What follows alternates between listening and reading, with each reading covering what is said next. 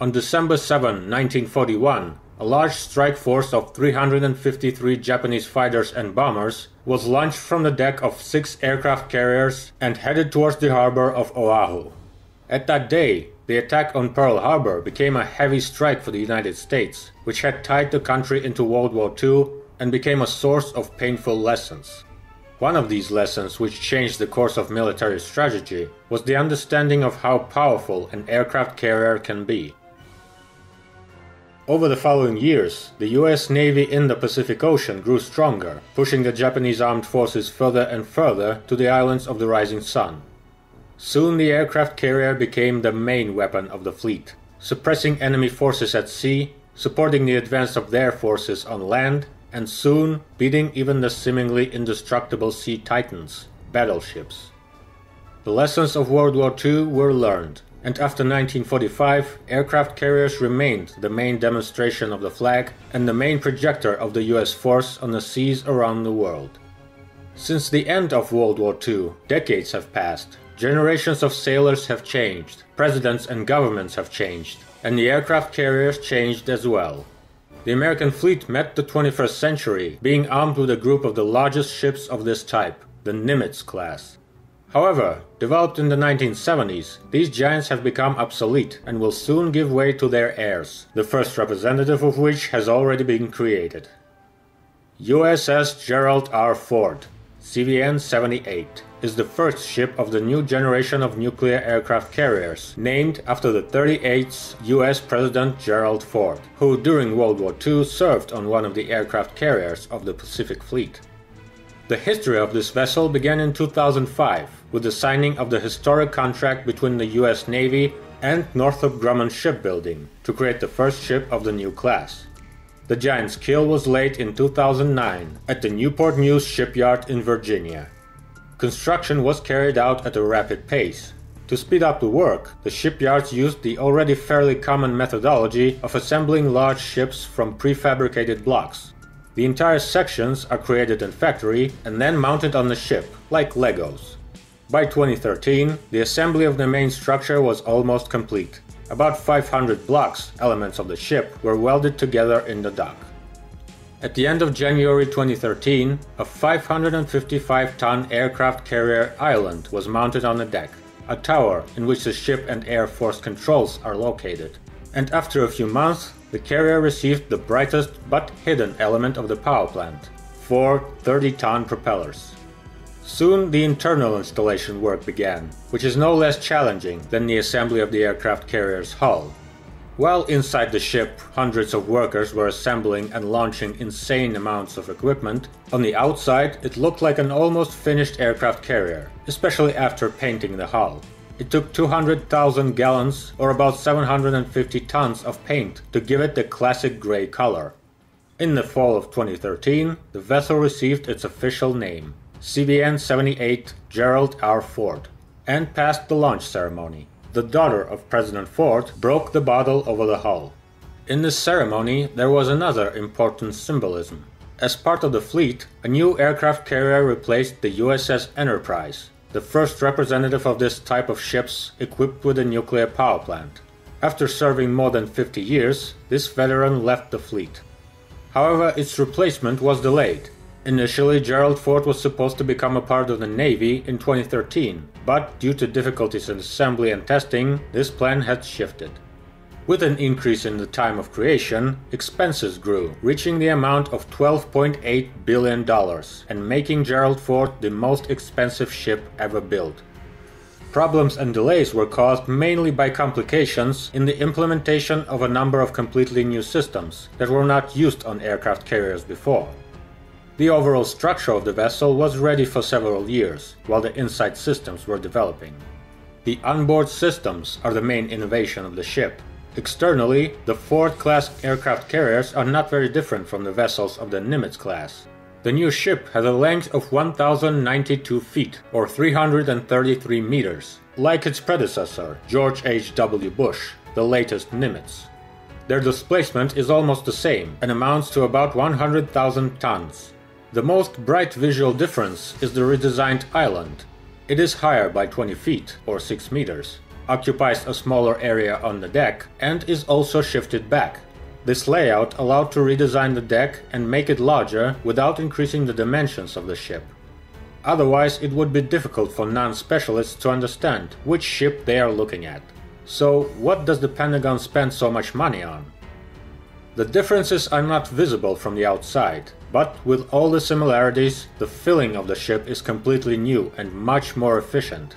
Gerald Ford is equipped with the most complex airspace control system, which allows not only to direct its aircraft and helicopters, but also to monitor large portions of the sky above the fleet.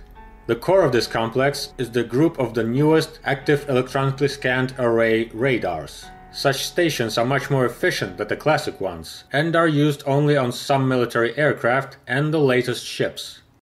In work with the air wing, the main weapon of the aircraft carrier, the innovation was in the replacement of the good old steam catapults with the brand new electromagnetic aircraft launch system.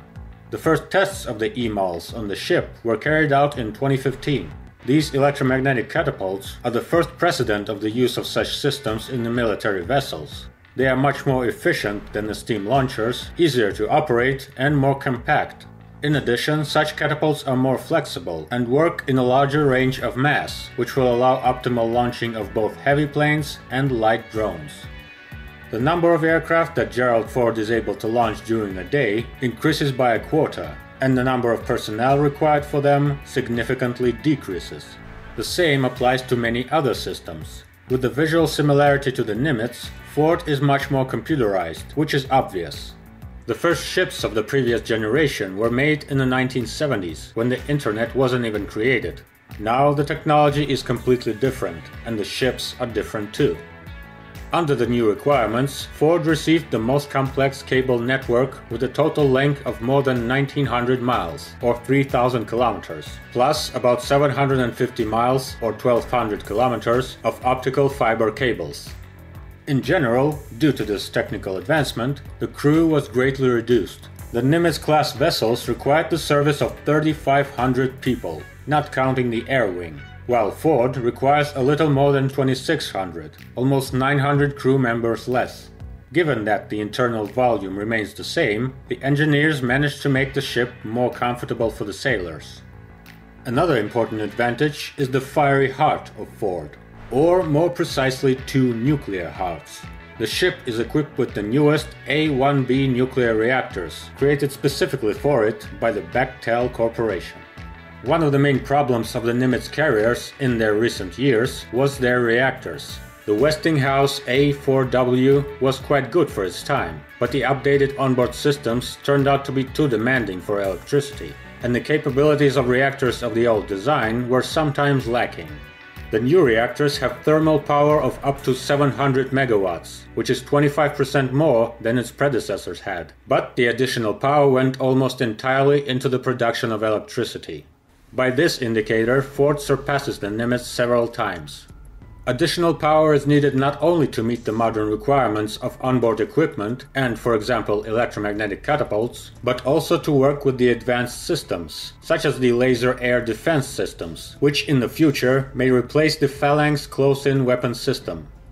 Problems with the modification of the old Nimitz with the new technologies became a lesson for shipbuilders. During the creation of the Ford class, it was initially taken into account that the ship would continue to be improved all the time. These systems, as well as a number of other new elements, required additional study and testing, which delayed the construction of the aircraft carrier.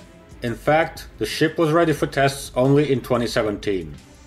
In the spring of 2017, the aircraft carrier first started sailing using its own power plant and soon began to perform sea trials. Finally, after the completion of the main testing stage, the Newport shipyards delivered the nuclear aircraft carrier Gerald R. Ford to the US Navy. In total, about 5,000 shipbuilders worked on the ship. Nevertheless, improvements and some tests on the ship continue. Now the aircraft carrier is expecting its main weapon.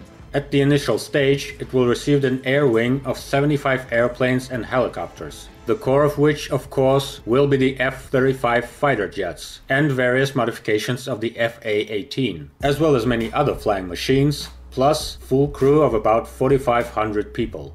According to the schedule, the new aircraft carrier will start its full service by 2020 and will operate as part of the fleet for at least 50 years. Some people from the military have noticed that with these figures, the last captain of the ship at the moment most likely is not even born yet. The shipyards have already begun work on other Ford class ships. It is assumed that 10 aircraft carriers will be delivered, 5 of which have already been ordered. Now, two of them are being built at once the CVN 79 John F. Kennedy and CVN 80 Enterprise. The Trek just doesn't work without the Enterprise.